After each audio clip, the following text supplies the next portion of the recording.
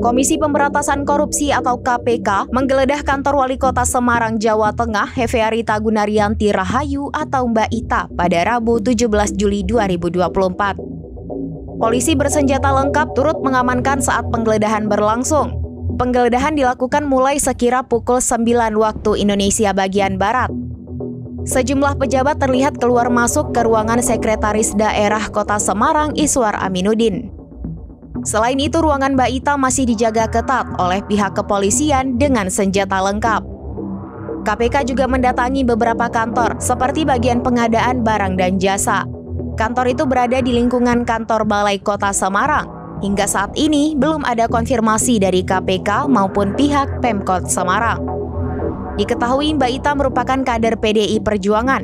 Ia dilantik menjadi wali kota Semarang pada 30 Januari 2023. Sebelum menjabat sebagai wali kota, Mbak Ita merupakan wakil wali kota mendampingi Hendrar Prihadi.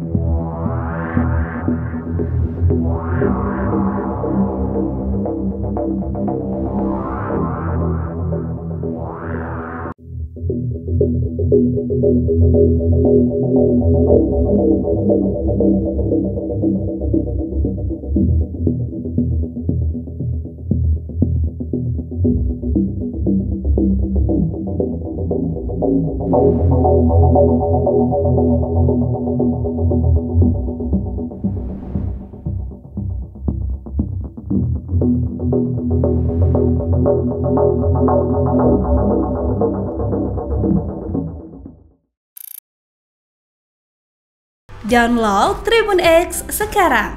Menghadirkan lokal menjadi Indonesia.